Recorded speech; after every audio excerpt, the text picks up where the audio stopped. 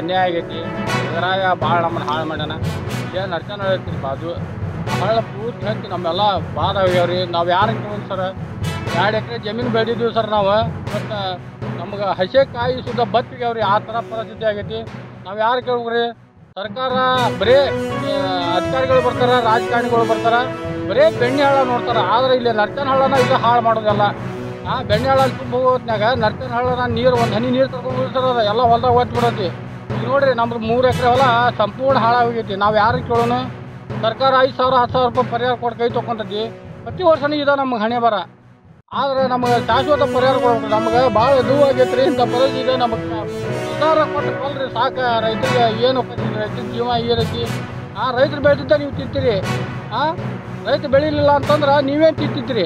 ನಾವು ಬೆಳೆದ ನೀವು ತಿಂತೀರಿ ಕೊಡಕ್ಕೆ ಹಿಂಗೆ ಮಾಡ್ತೀರಿ ನೀವು ಹಾಂ ನೋಡ್ರಿ ಅಲ್ಲಿ ಹೂಳು ಎತ್ತಕ್ಕಂತೇಳಿ ಬರೀ ಬೆಣ್ಣೆ ಹಳ ಅನ್ನೋದು ಹೇಳ್ತೀರಿ ನೀವು ನರ್ಚನಳ ಒಮ್ಮೆ ಹೇಳಿರಿ ನೀವು ಹಾಂ ಅದು ಅಕ್ಕಪಕ್ಕ ಹಳ್ಳ ಹತ್ತ ಹೋಗ್ತವೆ ಅಂತ ಪರಿಸ್ಥಿತಿ ಇಲ್ಲಿ ಭಾಳ ಗಂಭೀರ ಐತಿ. ಬರ್ರಿ ಬೇಕಾರೆ ನೀವು ನೋಡ್ಬರ್ರಿ, ಮಾನ್ಯ ಮುಖ್ಯಮಂತ್ರಿಗಳು, ಮಾನ್ಯ ಪ್ರಧಾನಮಂತ್ರಿಗಳು, ನೀವು ಬಂದು ನೋಡ್ಬರ್ರಿ ಇಲ್ಲಿ ಯೋಚನೆ ಮಾಡಿ ಹೋಗ್ಬರ್ರಿ ಎಂಥ ಪರಿಸ್ಥಿತಿ ಆಗೈತೆ ರೈತಂದ ಅಂತೇಳಿ ಹಾಂ ಬರೇ ಬರೇ ಬೆಣ್ಣೆ ಅಂತೀರಿ ನಿಮ್ಮ ಬಾಯಾಗ, ಬೆಣ್ಣೆ ಅದು ನವಲೂನ್ ತಾಲೂಕಿನಾಗ ಇನ್ನೊಂದು ಹಳ್ಳ ಐತಿ, ಗೂಗಿ ಹಳ್ಳನೇ ಅದು. ಹಳ್ಳ ಅಷ್ಟ ಇವನ್ ಯಾಕೆ ನಿಮ್ಮ ಕಣ್ಣಿ ಕಾಣವಲ್ರಿ? ಇಲ್ಲಿ ಅರ್ಧ ಕಿಲೋಮೀಟರ್ನಾಗ ಹೋಗಿ ಬೆಣ್ಣೆ ಸೇರ್ತೀನಿ ನರ್ತಹಳ್ಳ ಆ? ಈಗ ನಾವು ರೈತರು ಇರೋಣ ಸಾಯಿನ. ಅಷ್ಟೇ ಅಲ್ಲ, ಒಂದ ಕಟ್ಟ ಬರೇ ನೀರು ಪಾಲ್ ನಮ್ಗೆ ವರ್ಷ ವರ್ಷ. ಇಂಥ ಪರಿಸ್ಥಿತಿ ಆಗೈತಿ. ಇನ್ನಾರ ನೀವು ಕಣ್ಣಿಲ್ಲ ನೋಡ್ರಿ.